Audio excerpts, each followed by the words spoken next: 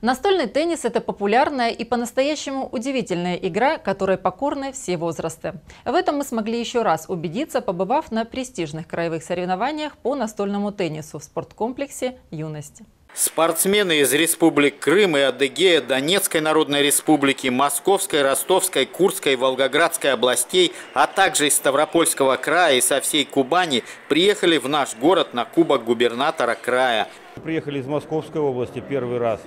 Вот. И также, говорю, Республика э, Крым и Донецк. Уровень достаточно приличный. Если учесть то, что на этих соревнованиях, только на этих сейчас можно присвоить кандидату мастера спорта, то, как говорится, с каждым годом, даже со временем будет увеличиваться количество народа, которые захотят или подтвердить звание кандидата, или выполнить его. Крымские спортсмены уже не один раз приезжали в наш город, в спорткомплекс «Юность», чтобы принять участие в серьезных соревнованиях. Здесь отличный зал, отличные соперники, очень сильная борьба. Здесь приезжают просто с множества регионов участники.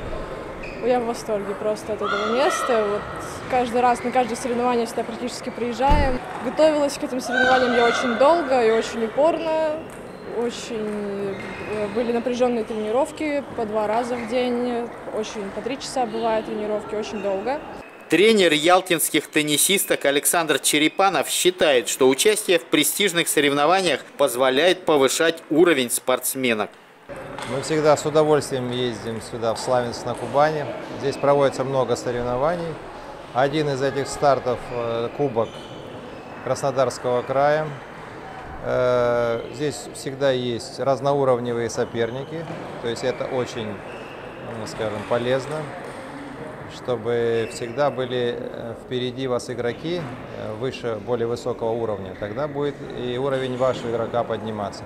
Мастер спорта по настольному теннису Маргарита Савельева говорит о нашем городе как о важном центре для развития этого вида спорта. Очень люблю э, этот город. Это э, город, можно сказать, мека настольного тенниса Краснодарского края. Очень много известных спортсменов э, вышли именно представители этого города. Всегда с удовольствием сюда приезжаю и есть возможность посоревноваться с представителями других регионов. Это хороший опыт и для молодых спортсменов, да, которым, может быть, э, они чему-то у нас учатся, и также мы подсматриваем что-то новое, какие-то новые элементы, потому что теннис не стоит на месте, он все время развивается, и хочется быть, э, так сказать, э, в тренде. Она убеждена, что настольному теннису действительно подвластны все возрасты. Я считаю, что настольный теннис такой уникальный вид спорта, в котором вообще нет возрастных рамок. К примеру, э, в ноябре будет проходить фестиваль настольного тенниса среди ветеранов э, по различным возрастным категориям. И я знаю, что уже 10 э, человек заявились в категорию 80+.